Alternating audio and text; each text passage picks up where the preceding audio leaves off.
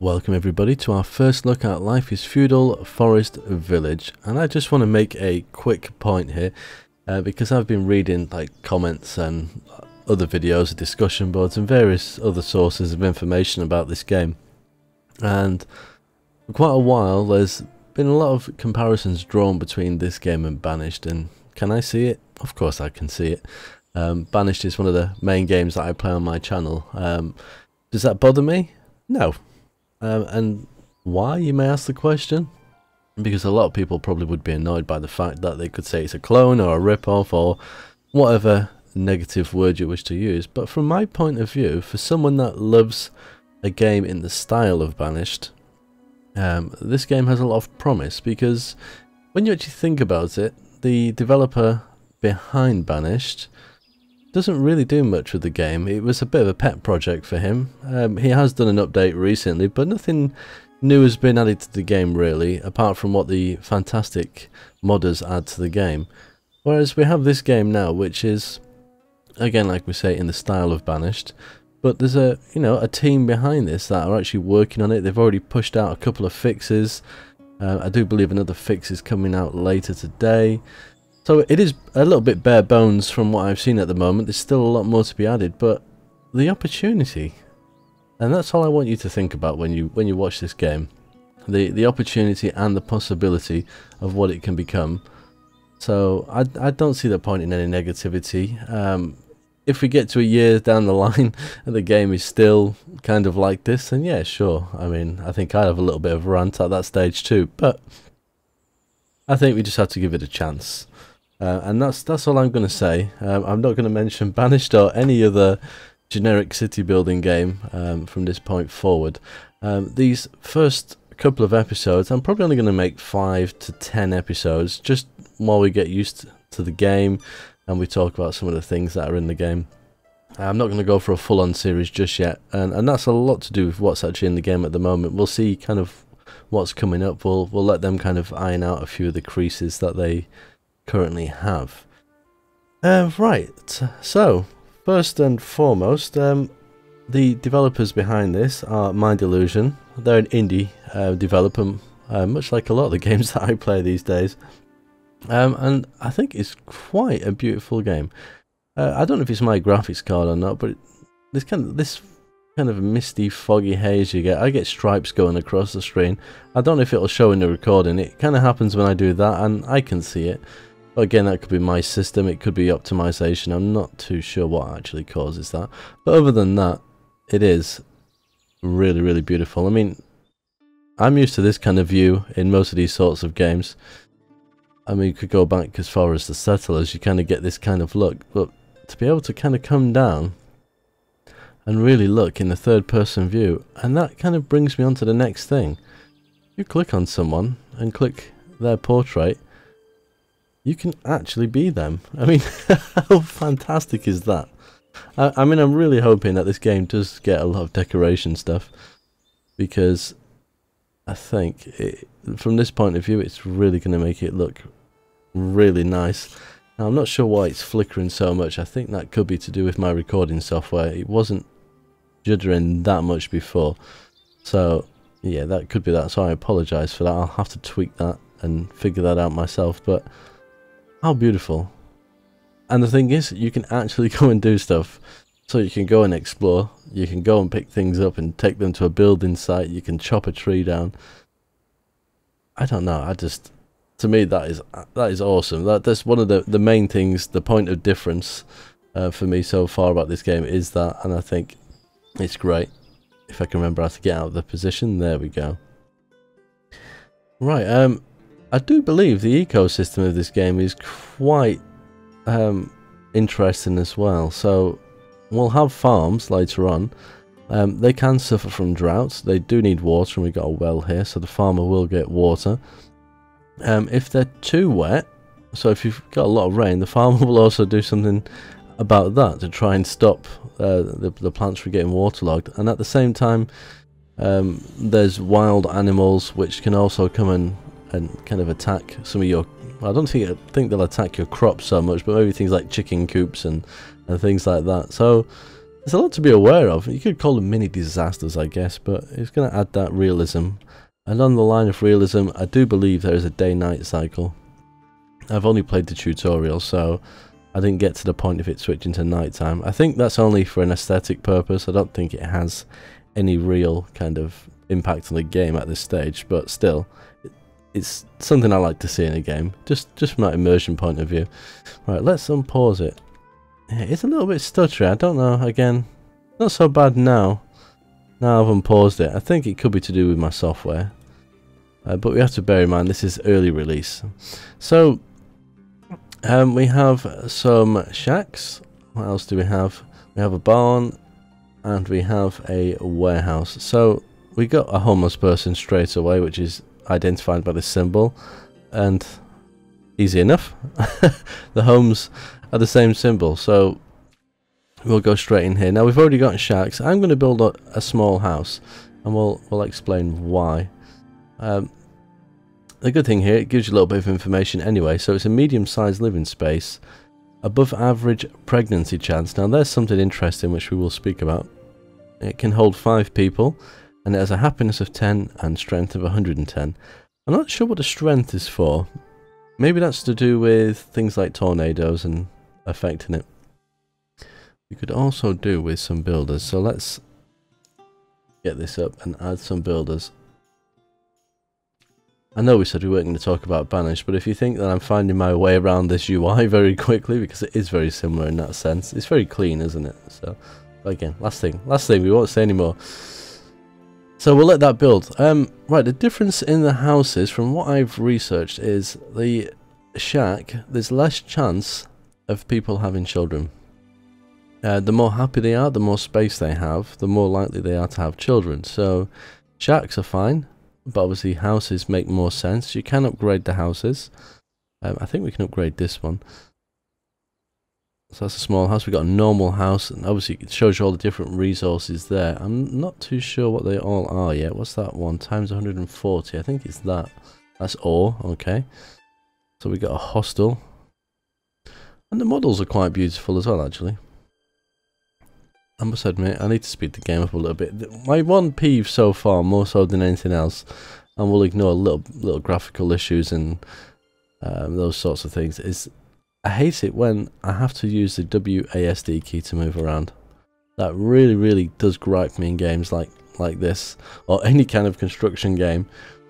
I just, if I hold down my right mouse button to rotate, perfect, but I like to be able to hold the left mouse button to scroll, or even edge scroll. There's no facility for that.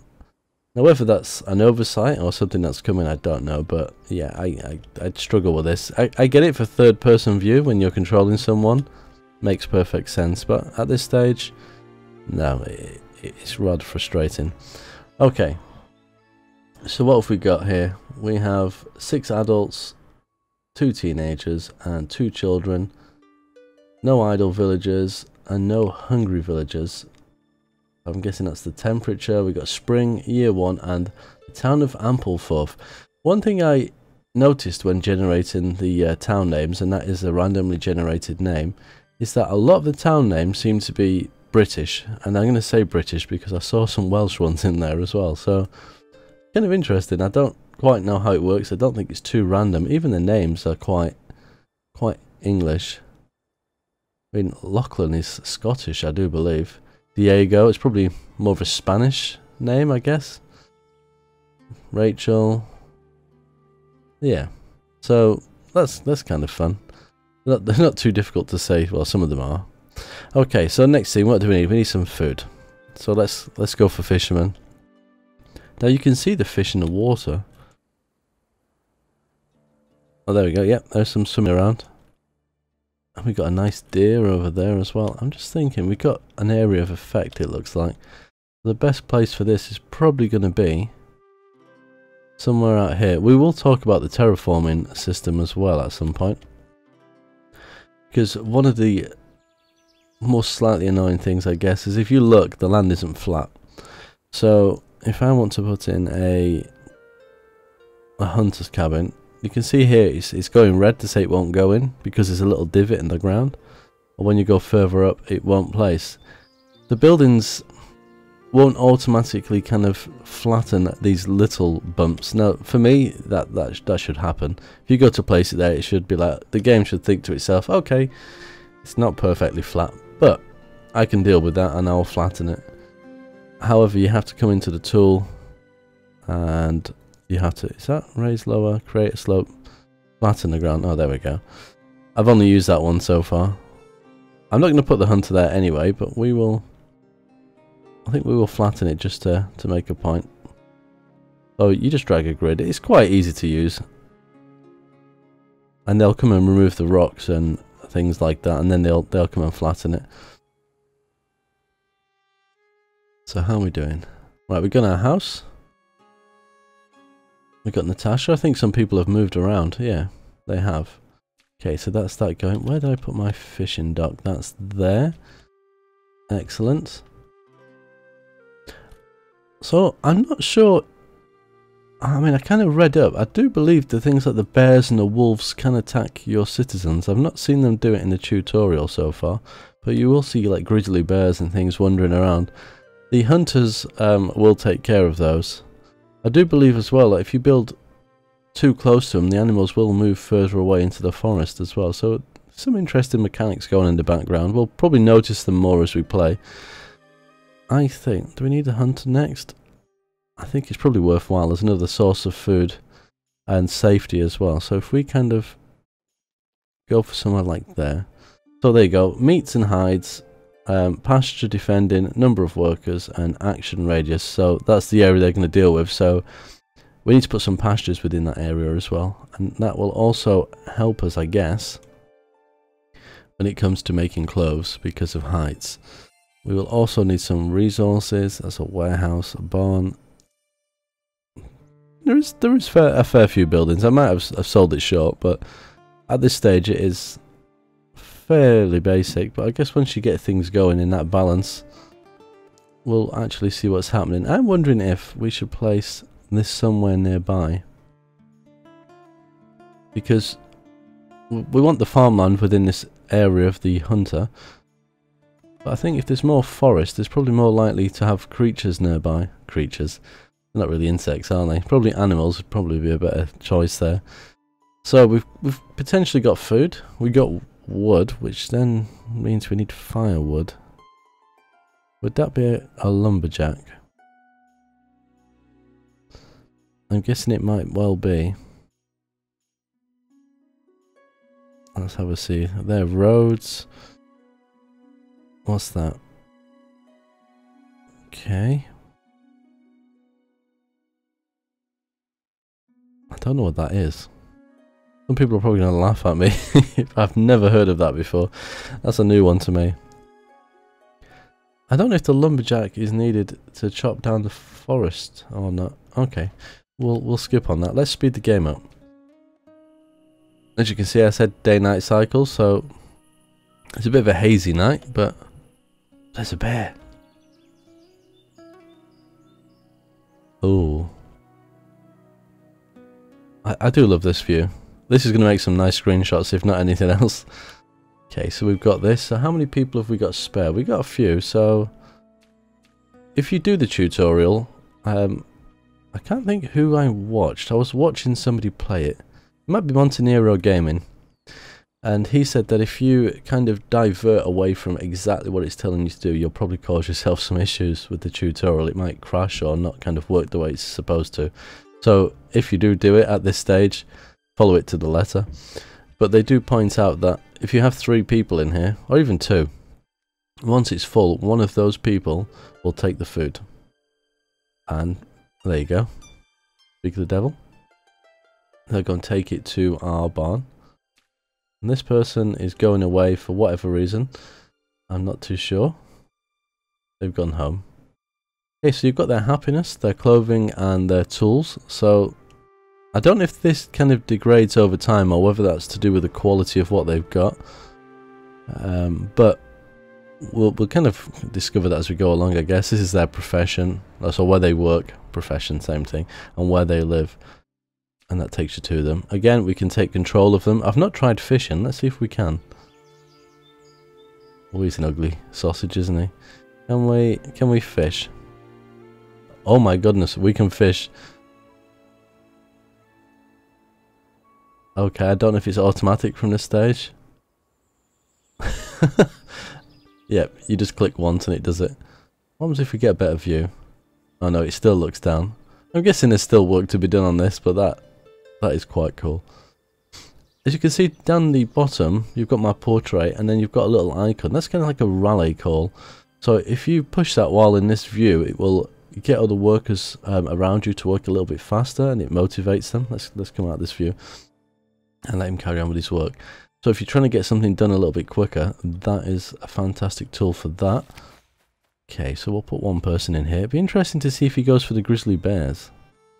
Oh, he did. Oh, she did even. I think it was a woman. Where did she go? Is that her? Yeah, it is. It's a woman. So again, we could probably take control of her and go and do the hunting. But she she dispatched that bear rather quickly. Boom. Headshot.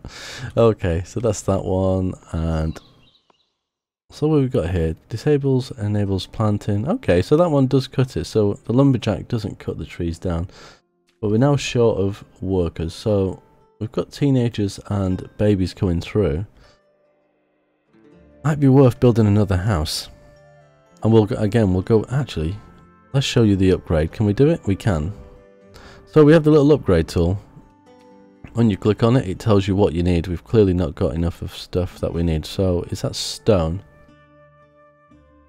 Yep, so we're short of stone and lumber. So we can't do that just yet. So let's go for... I can find it. One of these is gathering. So that's collect ore. So it's collect all resources. There we go. Now there is deposits of ore and stone. That's the ore there by the colour of it. Actually, it tells you how many there. And this, I think that's hay as well, is it? Hay, yeah. And you need hay for the thatched roofs. Again, you know, quite a nice little touch there. Oh, that's, oh, I thought that was a huge deposit of ore then. I was getting really excited. Okay. Let's let's do that and see.